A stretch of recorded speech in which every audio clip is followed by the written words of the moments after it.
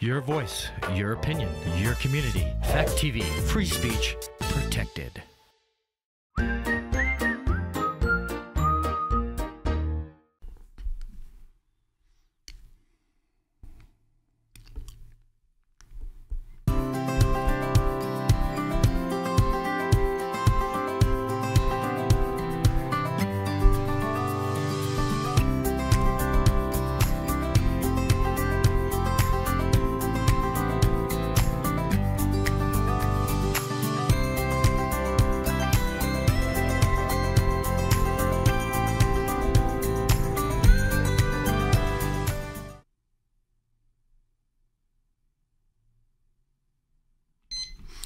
Welcome to the wrong the long road. I'm your host, um, Kris Roberts, and um, just in case people why ask why, oh, he wears the same shirt mostly all the time.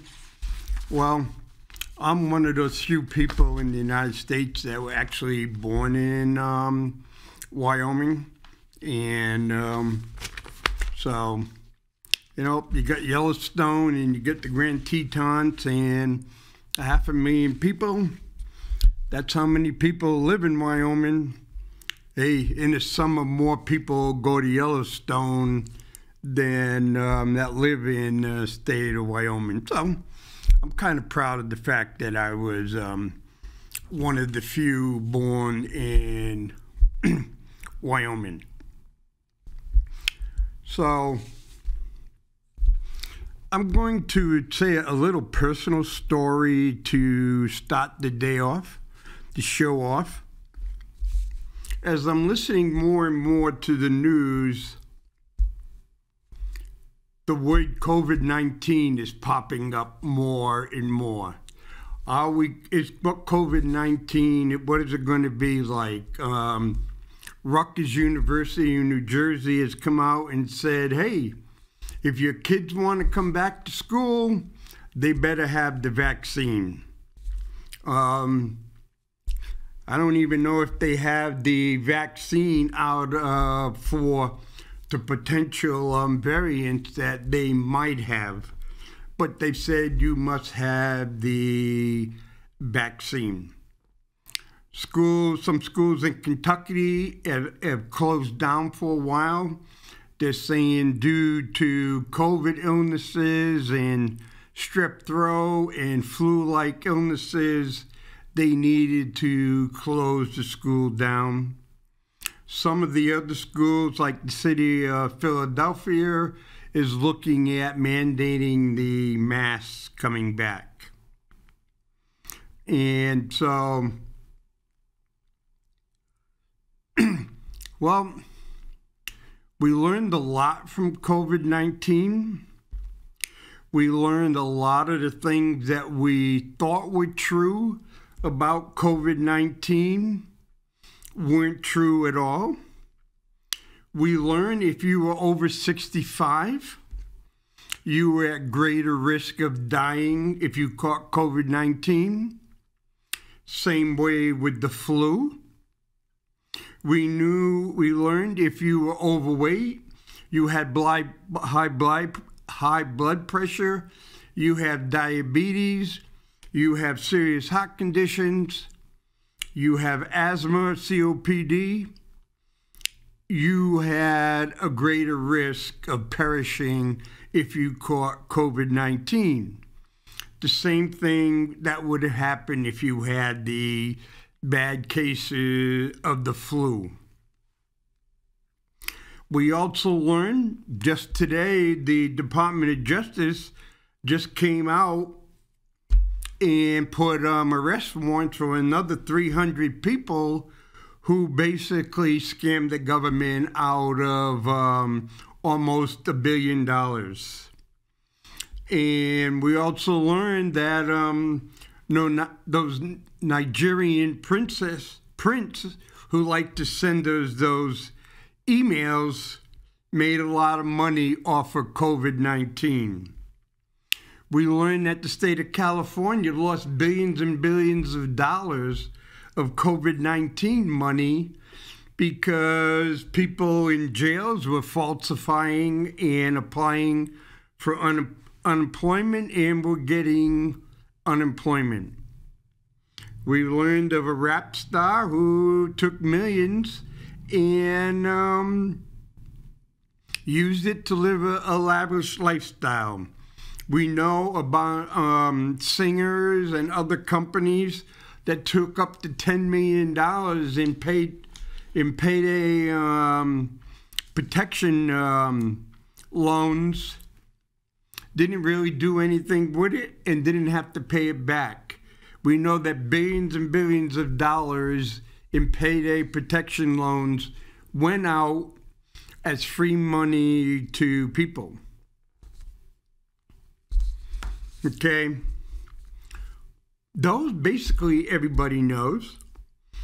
They know that um, as a result of the COVID lockdown, as the result of shutting down public schools, we have the lowest education scores in the past 40 years.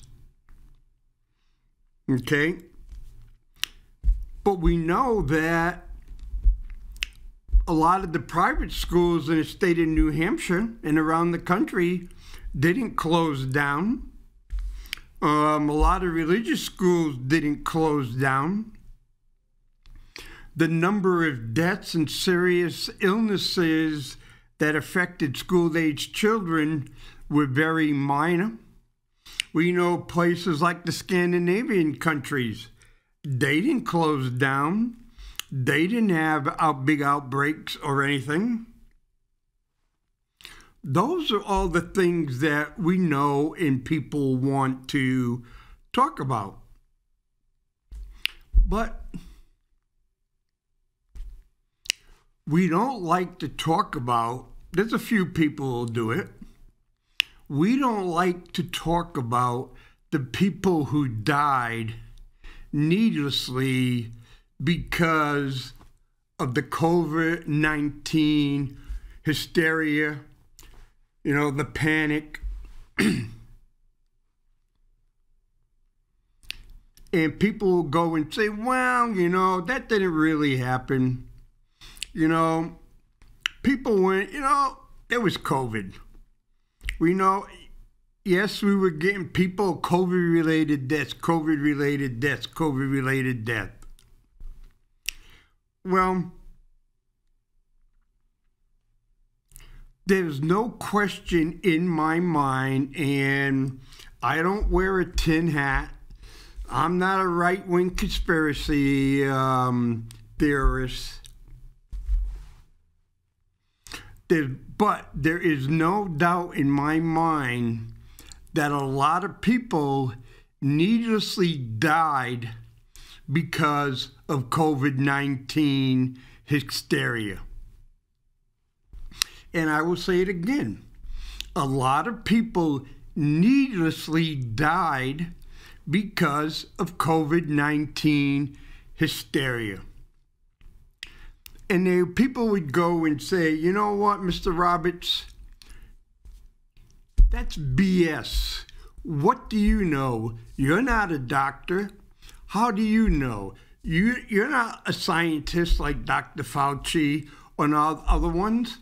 How do you know that? Well, yeah, that's a really good question. How do I know that? How do you know I'm not making up um, some stuff? Oh, yeah. Well, let me tell you a little personal story. My normal body temperature is 96.8, not 98.6, 96.8. when I get a fever of 100, especially 101, I'm really hurting. So, one day, back in 2020. I'm hurting. I can't move very much. And my temperature's up to 103. I'm in bed. I'm sweating like crazy. my daughter, who's a nurse, my other one's a nurse assistant, my wife, they're getting wet face clots and they're trying to um, cool me down, but it wasn't working. They were just drying up real quickly. They called Cheshire Medical. And they said, hey, you know, my father's got 103 temperature. The emergency room at Cheshire Medical said, do not allow him to come in. He most likely has COVID stay home. Then later on, my temperature got up to 104. They called the hospital again, and the emergency room said, Do not come in. He most likely has COVID. I really can't move. I'm getting stiff. So the next morning, they take me to Convenient MD. Convenient MD. I think it's convenient, convenient Care, Convenient MD, the one that's right next to Appleby. The woman doctor says, Get your butt down to the emergency room. I go to the and I says they won't let me in. They say she says I don't care. Get your butt down to the emergency room. I go down to the emergency room and go in, I wait my turn. They put me in a room, they did some tests, and they say, okay, Mr. Roberts, here's some pills. You can go home.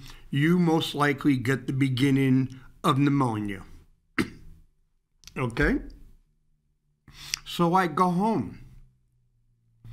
Next day at 2 o'clock, I get a phone call from the infection control doctor at Cheshire Medical. And he goes, Mr. Roberts, we need you to get right back into the hospital right now. And I go, why? It says, you have meningitis. I go, what? He says, yes, you have meningitis. When you get to the hospital, tell, let them know at the door who you are. So I get to the hospital, let them know who I am. They bring me upstairs and put me in isolation room where I spend the next night. and so next day I get a phone call from the infection control person, state of New Hampshire, who wants to know everybody I've had contact with within the last 72 hours so they could be given a big pill. Okay. Next day, I'm sent up to the hospital up in um, Concord, New Hampshire. I spent 13 days in the hospital in Concord, New Hampshire. Well, what happened was I had bacterial meningitis and I had a pacemaker. and you ever heard about sometimes how people get um, have rotten teeth and the bacteria gets into your blood system and goes into the heart and people can die from that? Well, the meningitis bacteria went that was in my system and got on to the pacemaker that I had, the wires and traveled into my heart. And I had bacteria, meningitis, growing into my heart. So I had to have a very risky operation to have the pacemaker removed from my heart and all the wiring. Then I went home and then I went on a heavy duty um, regimen of antibiotic infusions to help clean out my system. It took five months before I got cleared up. It was five months of basically being restricted to bed, not be able to do anything. I'd get up, maybe eat a little bit, go to the bathroom a little bit, go back to bed for five months. it took about eight months before I could recover to somewhat back to normal. I never recovered everything back. Okay. When I said people could needlessly die because of people oversimplify things about COVID 19. Well, if my meningitis had been viral meningitis, I would have been dead. That delay in getting me into the hospital and getting treated with viral meningitis would have killed me.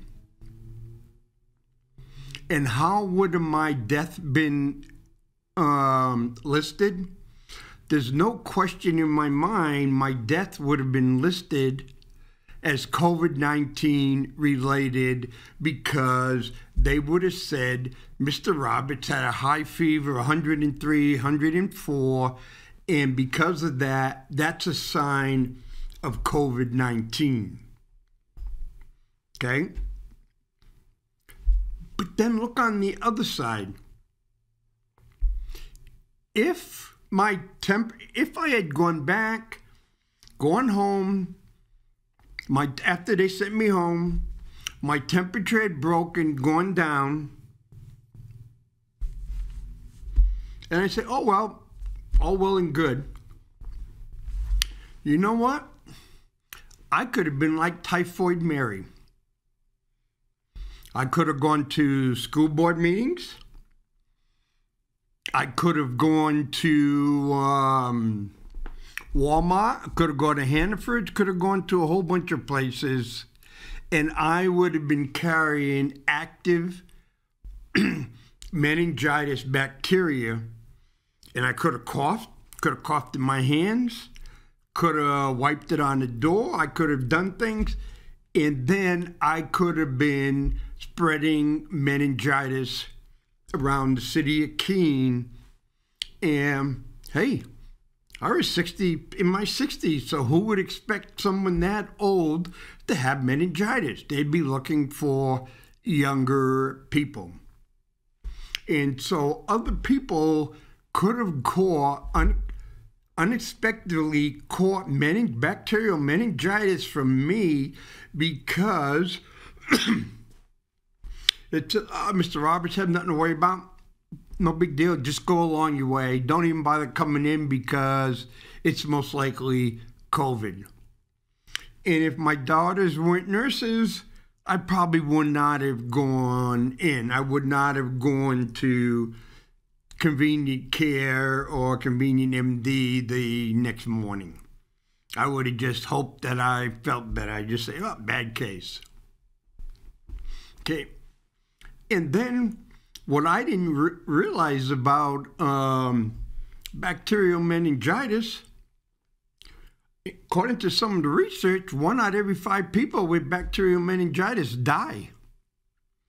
A lot of people with bacterial meningitis have parts have parts of their limbs amputated. And so if I presented with the same symptoms today, and it would it's go wow all bang bang bang they would have rushed me into an isolated unit and doing bunch of different tests on me and not allowed to let me go home. Because they would not only try to save my life or whatever or treat me, but they would want to make sure if I had an infectious disease, I would not be spreading it out in the community. That would be the proper protocol. Okay. When we had COVID 19,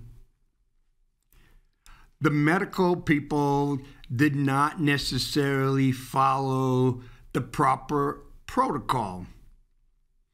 Yes, there was money to be made in labeling debts COVID 19 related. And I don't care what most people say.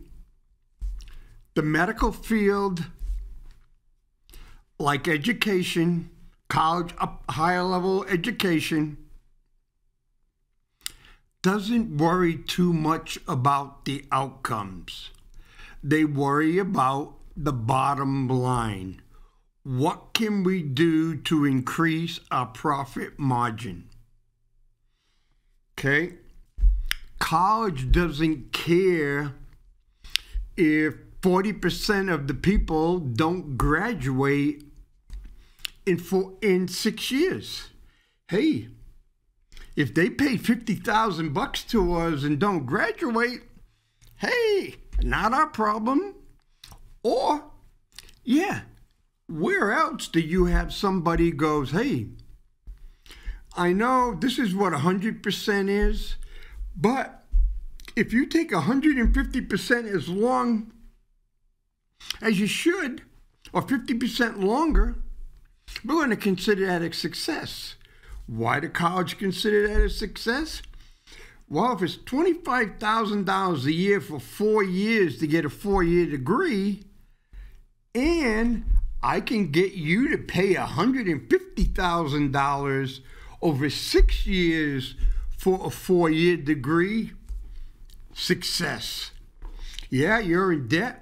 Yeah, you may not get a job to pay off that debt, but it was successful for our bottom line. Okay? For hospitals, what's for the bottom line?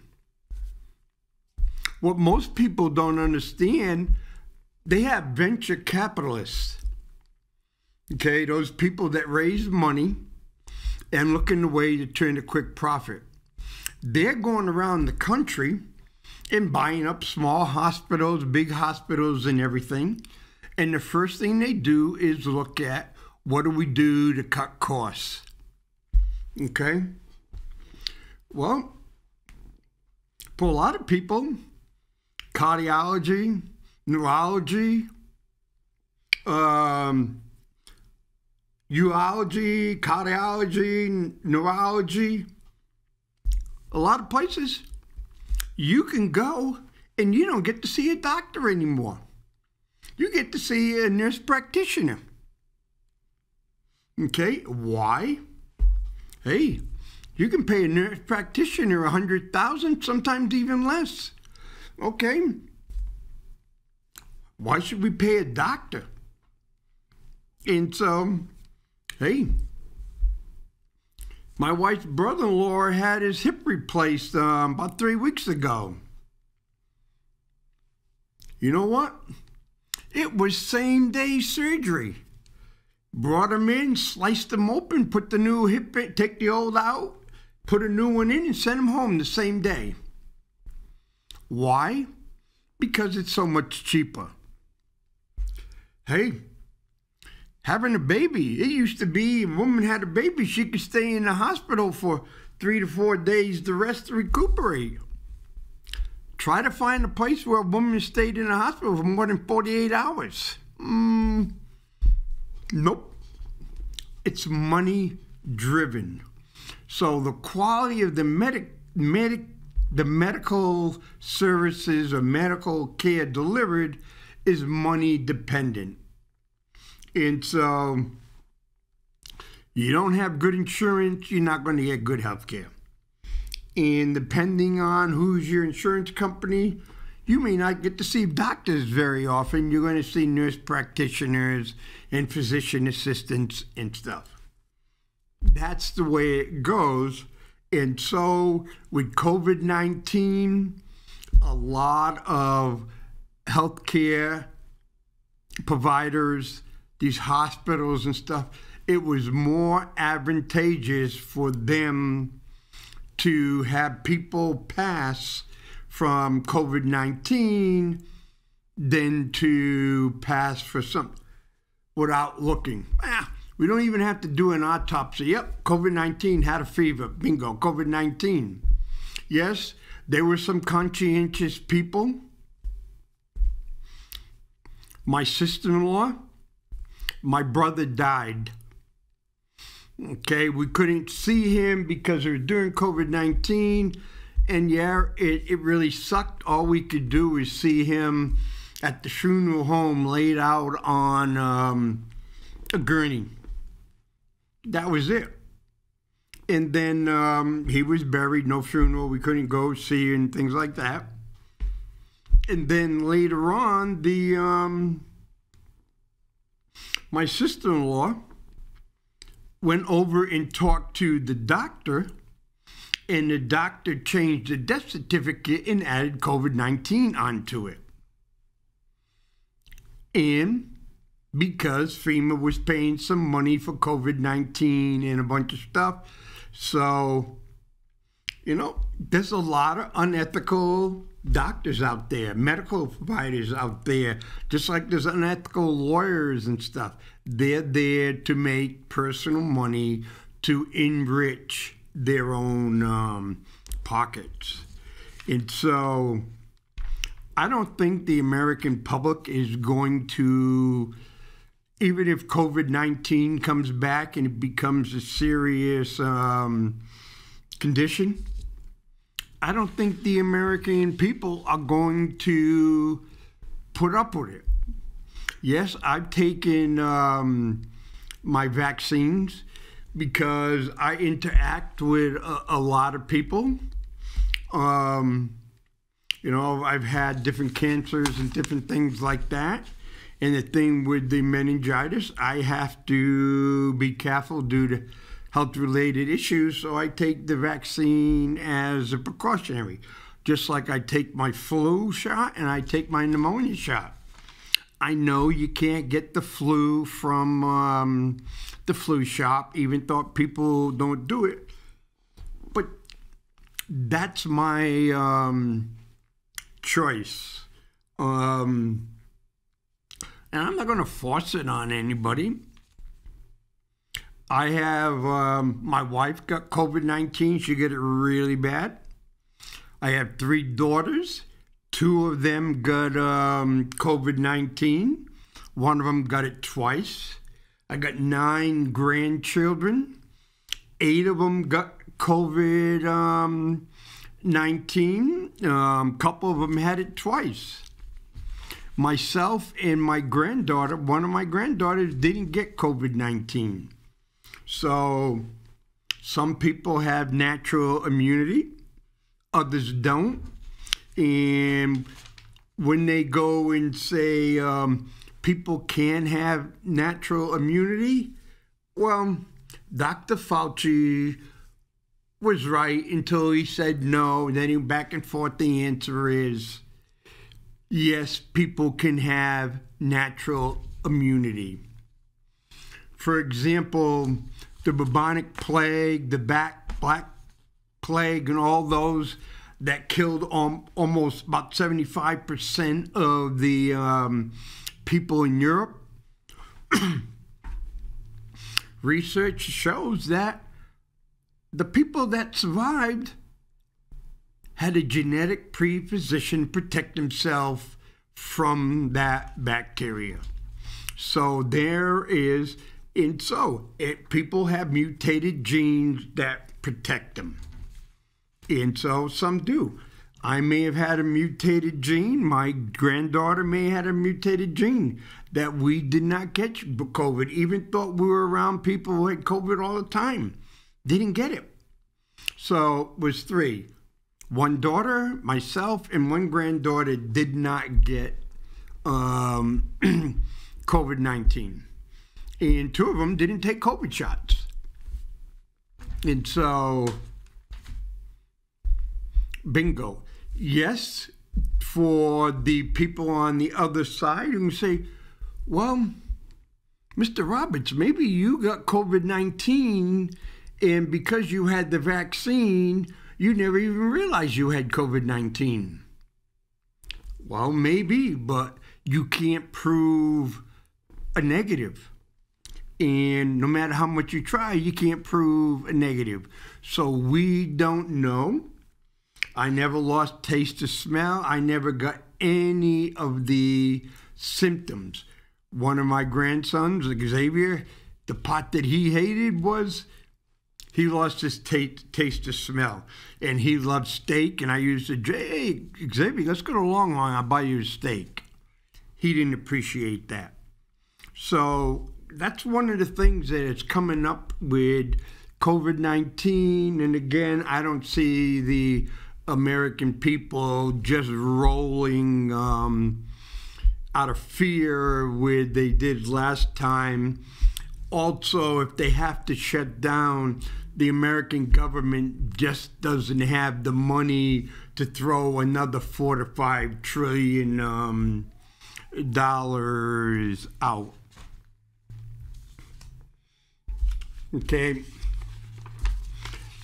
The moving on, speaking again from a little personal experience,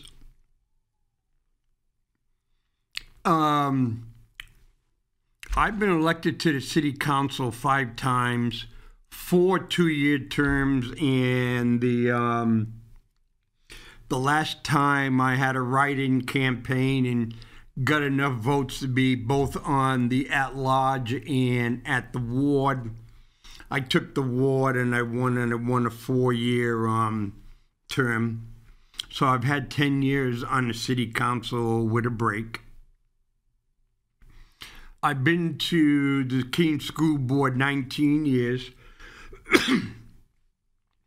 Had eight elections. I've won seven, and I I lost one, so I had a three year break. I was up at the state house for um, six terms, 12 years, and I was a committee chairman. The um, I ran for mayor against um, excuse me incumbent, well known um, mayor lost by about 200 votes. I ran for the state senate and got um, my butt handed handed to me. So then I spent over 20 years active duty in the Marine Corps. I worked for the state of New Hampshire for a little bit more than six years. And one of the things that I've learned in, in all those, you can only go so far. You can be doing an outstanding job, have great leadership, do, be quite knowledgeable, all those things. But you can, and I've always, yeah, I spent a couple of places on nonprofits president of the Keene Senior Center and stuff, you can only go so far before you start having to sell part of your soul. And it becomes the question is how much of yourself are you willing to give up to move up?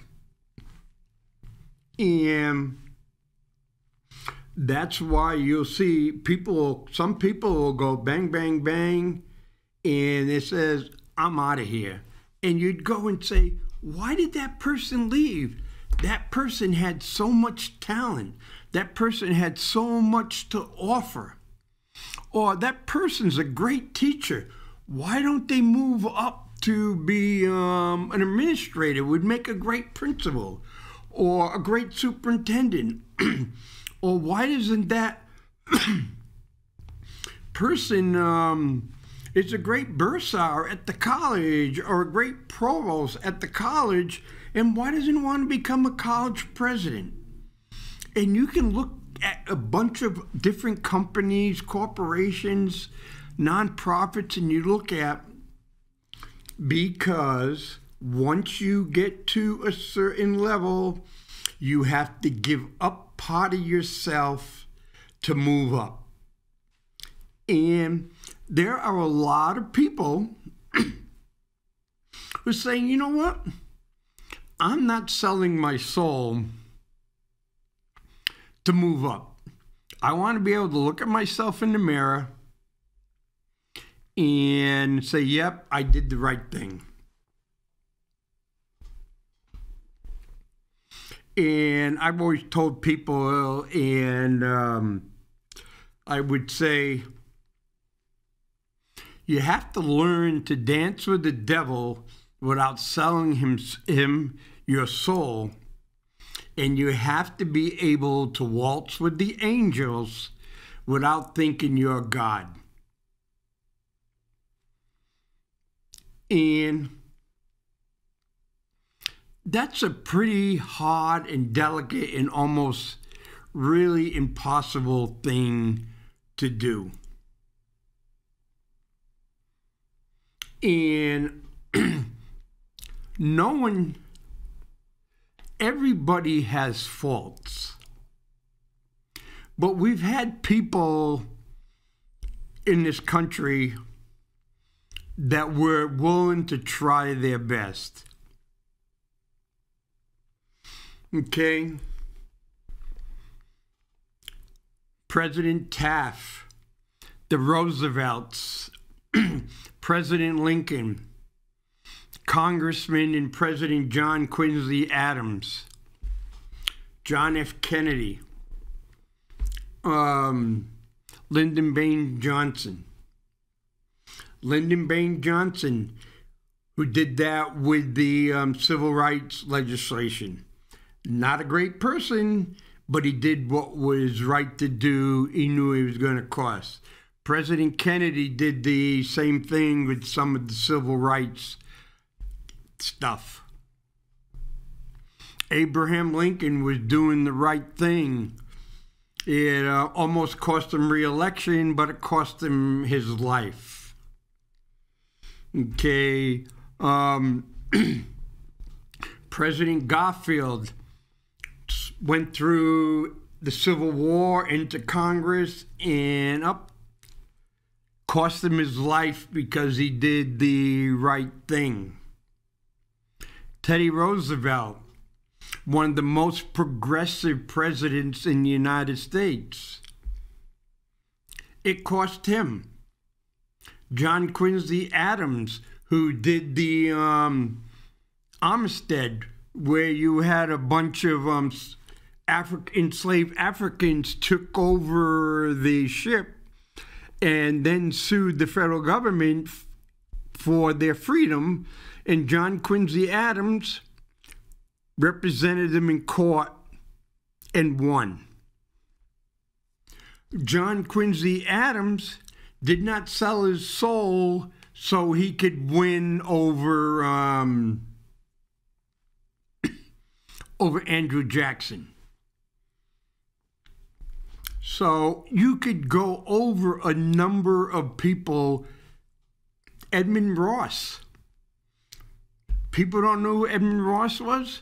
Edmund Ross was a senator, and he was deciding vote not to throw Andrew Johnson out of office.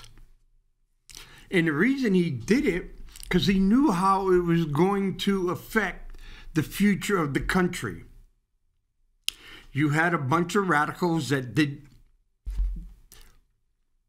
Republican radicals from the North who decided that this is they didn't want Johnson because he wasn't doing everything they wanted, so they were going to impeach him. And Ross, Edmund Ross, stood up. Edmund Ross is in John F. Kennedy's um, profiles in courage. Okay, he was punished for that. But you know what? Yes, you can say John F. Kennedy was a womanizer. Someone say John F. Kennedy took too many um, painkillers. John F. Kennedy had sex with Marilyn Monroe. Or President um, Franklin Roosevelt had a mistress. Um, you know, you you can go on and on and on and listen, read. You can dig dirt up on everybody, but it's the losers that tried to bring down the people are doing a great job. And so now, doing that experience that I've had and stuff, we're getting ready for elections.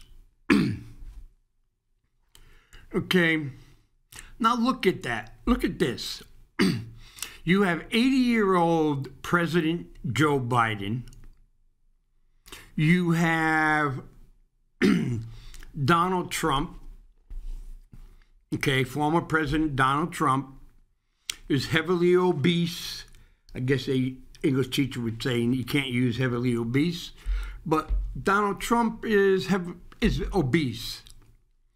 So when you look at the charts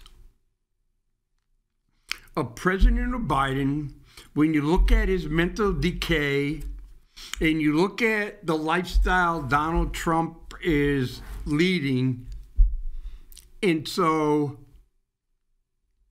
if either one of them was being sworn in for president of the United States on January 20th, 2025, neither one of them would have more than a 50% chance of living through their next full term of presidency of the United States. The chances of either one being mentally competent to finish that term to 2029 is it's going to be much lower than that. Donald Trump is a heart attack or stroke away. He may explode at any one time and have an aneurysm. Bingo. Not wishing it on him, but he could have that. President Biden is his ability to speak, his ability to comprehend is getting worse and worse. And so look at it. You would think that the um, the American people would be wising up and saying, you know what? We need younger, more competent individuals that could help the country, not the party. Okay. And this individual said, a famine of political courage damages our nation. Our elected officials have demonstrated the lack of courage to do the right thing because of fear of personal consequences, criticism, and party pressure. Politicians voting as the party demands instead of as their conscience dictates has become the norm. This occurs on both sides of the aisle and is commonly accepted as good governance. Is this the really the way it has to be? You know, the army is trying to figure out why the hell can't they get people to join? They're short 15,000 this year. They're short 15,000 last year. They're even creating a boot camp for people to lose weight or people to practice the test so they can pass the test to get in. The reason the Army is not getting people to join is because the Army leadership and the Air Force leadership are becoming far too political. We have general officers, we have colonels and above who are kissing the rumps of politicians doing what they can be politically. When the president says, I'm going to nominate someone of color, I'm going to do this or do that. I'm not going to nominate the best qualified person. But you know what? We haven't nominated a woman for this, so we're going to nominate a woman for this. We haven't not nominated um, a transgender for this, so we're going to nominate this. We have an um, Air Force colonel who was selected for brigadier general, who came out and says the problem with the Air Force was all these white colonels who weren't doing their job, and they were preventing um, diversity from increasing in ranks. So is it saying you qualified white colonels, you need to quit so we can bring in less qualified LBGQ, different races, different religions, all these people up to get the numbers to a level that looks good. And hey, you know what? the military has done really good. The enlisted ranks have done good. Um, senior leadership, all colors and everything. The the the armed forces, we have more and more um, generals of women, general and flag officers, uh, uh, women, people of color, women of color. We they even have openly um, gay and lesbian um, members, senior officers. Okay.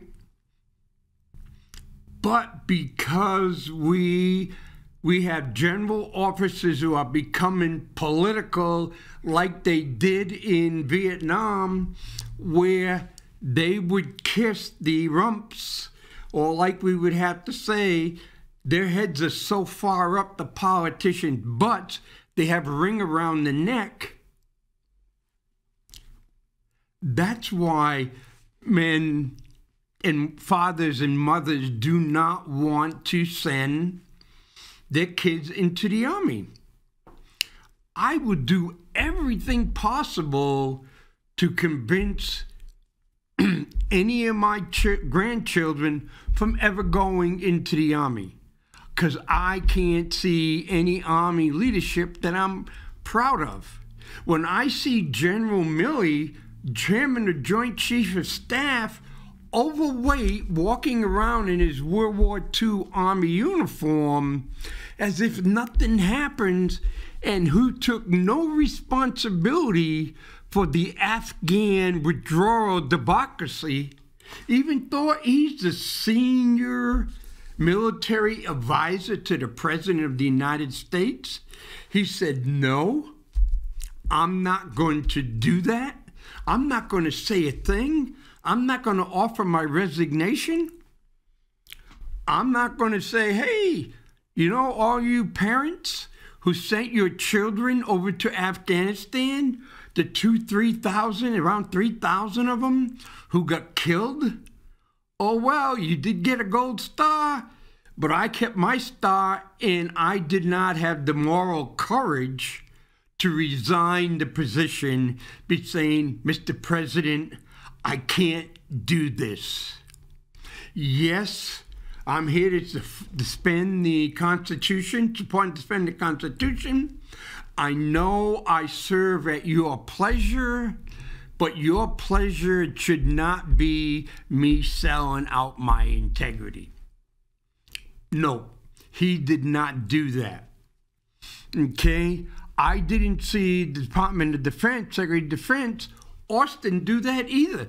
I didn't see any of them go and apologize to the American people. Plain and simple. Nope. They just moved on if nothing happened. And if someone was to go and stop them and they say, hey, um, how many Marines got killed on um, on that withdrawal from Afghanistan. Huh? Hmm? I bet you they couldn't tell you. But I can tell you the, the 242 people were killed in the Beirut bombing. I may not know all the names, but I know what happened.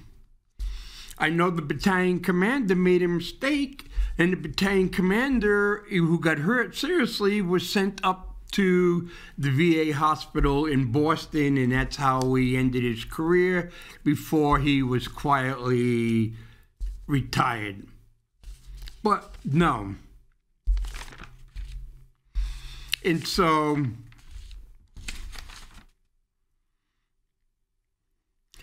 political courage, public courage is one's readiness to risk significant personal loss or disadvantage in order to publicly affirm a lofty social value or principle. Self interest action may require sacrifice and produce socially desirable results, but it doesn't count as public courage. Okay? When we talk about the party, what I learned in here is the state, the Democratic Party, especially the Democratic Party, because I used to be a Democrat, it's controlled by one guy, Raymond Buckley. Everybody seems to fear Raymond Buckley. They need to appoint, anoint his ring. Kiss Ray Buckley ring, and you will get what you wanted, and you'll get Ray Buckley. If you pay, if you hire Ray Buckley's people out of your campaign fund, they can help you. Ray Buckley has made really powerful inroads into the city of Manchester. Manchester, basically, politics is controlled by the Democratic Party. He's got some inroads into Concord and Nashua and some of those other areas. We here in Keene are a pretty independent um, group of people we don't like people coming in telling us how to run our politics. William Beauregard, years back, decided that he was going to, the Republican Party was going to spend a lot of money getting William Beauregard elected as mayor of the city so he could then run for um, the state senate over here so they can get a Republican in. And William Beauregard had like six or seven flyers, nice glossy flyers and everything that came in, and people said no. Okay. Four years ago, Mitch Greenwald decided to run for mayor. Ray, he had Ray Buckley's blessing. Ray Buckley sent people over here to help run his campaign. He had Senator Shaheen, he had Senator Hassan, and all those people involved. Again, I got at least six flyers, paid friends of Mitch Greenwald and everything. I wouldn't be surprised if those flyers cost thirty, forty thousand dollars. And again, the people of Keene said no. We do not want that. It appears again Ray Buckley is getting his hands into local politics again. And um, and I think his hands in he is like to have um, Jay Kahn to be our next mayor and the reason you would like to see Jay Kahn being our next mayor because they need some more seats around here. They need, um, they want to have a Democratic mayor when they have um, the next election comes along, and the Democratic mayor could then really be pick and choose. You know what? The city can be kind of closed down when the Republican comes here, but when a Democratic candidate comes here, we can be really open. So it would be beneficial. So what you can see is that you see Jay Kahn's um, signs all over the place right now.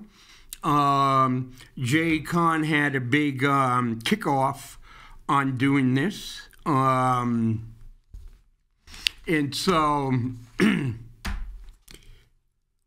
what I would like to say is when we get ready for this election, it has to be a local election. It has to be a Keene election, not a Ray Buckley election, not a Democratic Party election. Our elections in Keene are non political. No Democrat, no Republican.